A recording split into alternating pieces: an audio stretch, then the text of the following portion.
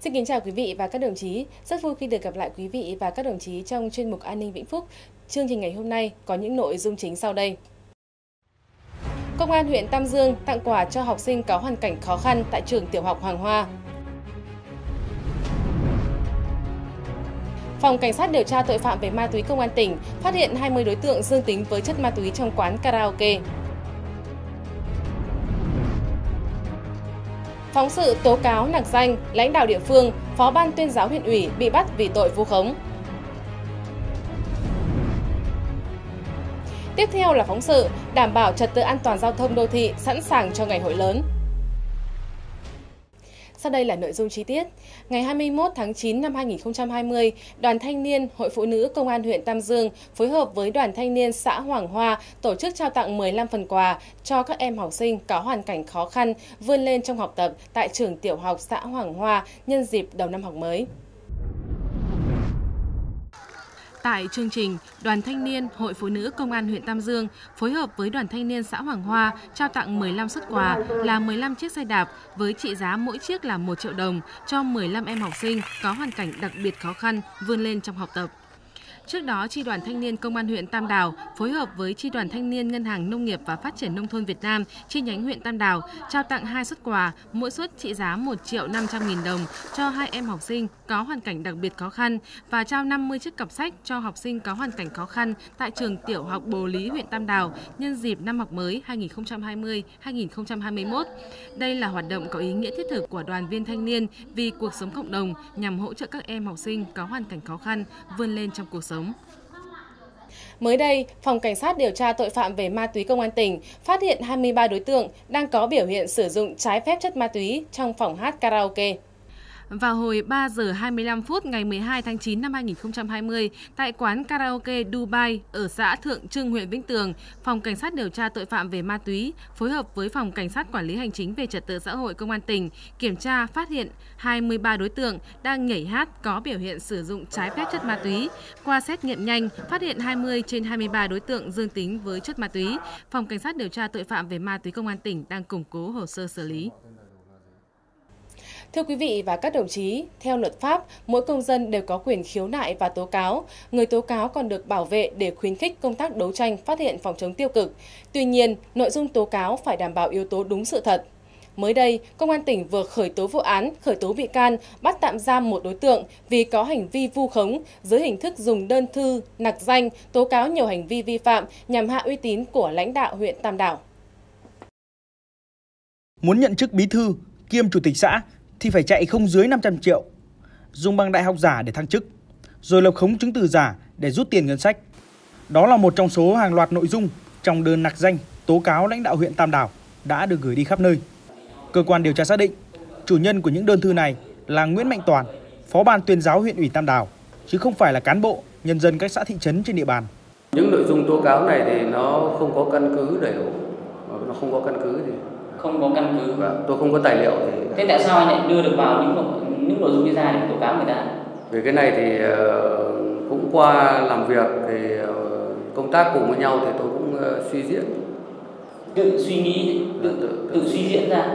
Tự bịa nó ra thôi. Có ai nói với anh về việc này không? Không không ai nói. Khám xét nơi ở và nơi làm việc cơ quan công an thu giữ nhiều tăng vật liên quan trong quá trình soạn thảo đơn thư nạc danh. Để tránh bị phát hiện theo cơ quan điều tra, những lần đi gửi đơn thư tại bưu điện đều được thực hiện bí mật, thậm chí nhờ cả trẻ nhỏ đi bỏ thư.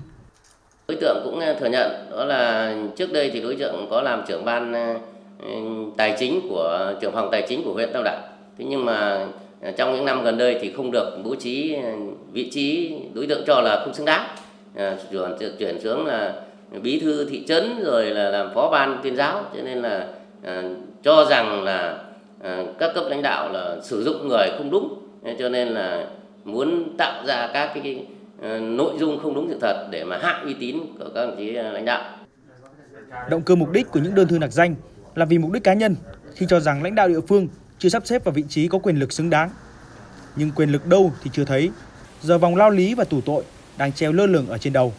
khi đang phải đối mặt với tội danh vu khống người khác.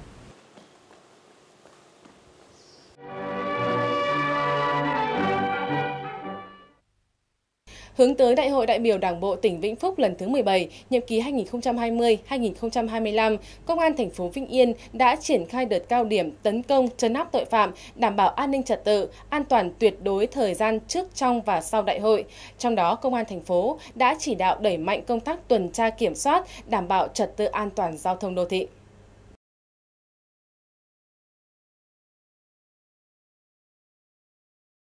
Vĩnh Yên là địa bàn trung tâm tỉnh lỵ, là nơi diễn ra Đại hội đại biểu Đảng bộ tỉnh Vĩnh Phúc lần thứ 17, nên công tác đảm bảo trật tự an toàn giao thông và trật tự đô thị được công an thành phố đặc biệt quan tâm. Ngay từ những ngày đầu tiên triển khai đợt cao điểm, đội cảnh sát giao thông công an thành phố Vĩnh Yên đã huy động lực lượng tăng cường công tác tuần tra kiểm soát, xử lý nghiêm các hành vi vi phạm trật tự an toàn giao thông. Bên cạnh việc xử lý các lỗi vi phạm là nguyên nhân trực tiếp gây ra tai nạn giao thông như hành vi lạng lách, đánh võng, nẹt bô, vi phạm về tốc độ, nồng độ cồn, các đối tượng tổ chức đua xe trái phép, công an thành phố cũng tập trung xử lý nghiêm các trường hợp không đội mũ bảo hiểm khi tham gia giao thông bằng mô tô, xe máy, dừng đỗ sai quy định nhằm đảm bảo trật tự mỹ quan đô thị. Tình hình giao thông trong của thành phố Biên trong thời gian vừa qua về mặt cơ bản đã được giữ vững và ổn định. Tuy nhiên trên địa bàn thành phố, đặc biệt trong khu nội đô của thành phố vẫn còn tình trạng một số người dân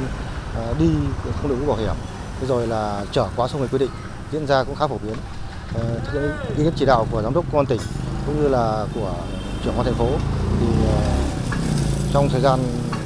chuẩn bị phục vụ đại hội đảng các cấp đặc biệt tới đây phục vụ đại hội đảng lần thứ 17 của tỉnh Vĩnh Phúc thì lực lượng công an thành phố Yên đã ra quân ờ, để tổng kiểm tra tất cả các các phương tiện trong địa bàn thành phố Yên đặc biệt các khu trung tâm của thành phố như phường Ngô Quyền, Đông Đa, Tích Sơn và Liên Bảo và xử lý kiên quyết đối với các trường vi phạm, đặc biệt các trường hợp mà người dân đi trên đường không đội mũ bảo hiểm và trở quá số người quy định cũng như là à, đi không đúng phần đường làn đường. Bên cạnh việc tuyên truyền, chúng tôi sẽ xử lý kiên quyết trường này để đảm bảo nhập lại trật lập lại trật tự trên địa bàn thành phố Hưng Yên. Từ ngày 1 tháng 9 năm 2020 đến nay, Công an thành phố Vĩnh Yên đã phát hiện, lập biên bản xử lý hàng trăm trường hợp vi phạm. Nhìn chung, đại đa số quần chúng nhân dân đều đồng tình và chấp hành nghiêm việc xử phạt của lực lượng công an. Tuy nhiên, vẫn còn một số trường hợp có hành vi chống đối. Có trường hợp nghĩ rằng tham gia giao thông trong đô thị gần nhà nên cố tình không đội mũ bảo hiểm hoặc có những hành vi vi phạm khác. Song song với công tác uh, xử lý thì công tác tuyên truyền vận động nhân dân để chấp hành vẫn là công tác cơ bản cái này chúng tôi làm thường xuyên. Cũng thông qua cái ờ, việc này thì chúng tôi kêu gọi nhân dân trong địa bàn thành phố Hưng Yên và tất cả trên địa bàn toàn tỉnh Vĩnh Phúc lên nêu cao tinh thần trách nhiệm và chấp hành nghiêm luật giao thông đường bộ, ra đường phải thực hiện đúng ờ, quy định của pháp luật, đi xe phải đảm bảo có đầy đủ giấy tờ cũng như là bằng lái xe và những, và chấp hành theo quy định như là không đội mũ phải đội mũ bảo hiểm và đi đúng phần đường, làn đường và chấp hành nghiêm quy định của luật giao thông đường bộ mọi người dân tham gia giao thông đều phải nghiêm chỉnh chấp hành pháp luật về an toàn giao thông. Điều đó vừa bảo vệ an toàn cho chính bản thân người tham gia giao thông và những người xung quanh, đồng thời góp phần xây dựng văn hóa giao thông và xây dựng trật tự đô thị văn minh. Vì vậy, mỗi người dân cần tự giác tuân thủ luật lệ an toàn giao thông. Quý vị và các đồng chí vừa theo dõi chuyên mục An ninh Vĩnh Phúc. Xin kính chào tạm biệt và hẹn gặp lại ở chuyên mục này kỳ sau.